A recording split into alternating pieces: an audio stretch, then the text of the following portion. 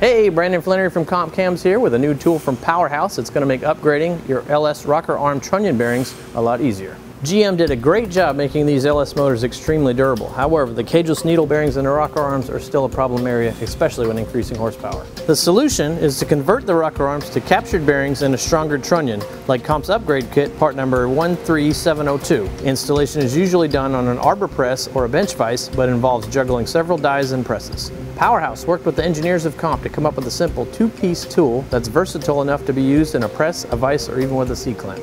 With this kit, you should be able to do all 16 rockers in under 30 minutes, and the first step is to remove the OEM needle bearings. To do this, place the rocker arm in the tool bed and place the tool in the vise. There's a magnet on the end to help hold it in place.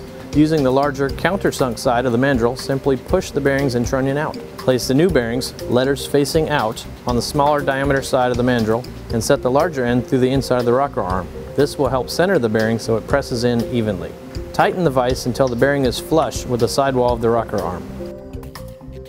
Turn the rocker arm around and insert the trunnion into the bore. Set another new bearing, again, letters facing out, on the new trunnion and set the installation washer that comes in the upgrade kit on top of the bearing. Being sure it's centered and going into the other bearing and not pushing it out. Tighten the vise.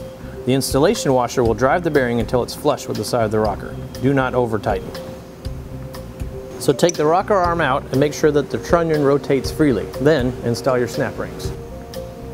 The process is the same for a press, only vertical. Once again, the magnet comes in handy for holding the die in place. A C-clamp can also be used if needed. It works just like the vise and adds to the tool's versatility. This new kit is a time saver. No more fumbling around with multiple parts, crooked bearings, or damaged rockers. Again, you get these from Powerhouse, and if you're upgrading your LS, this is the way to go.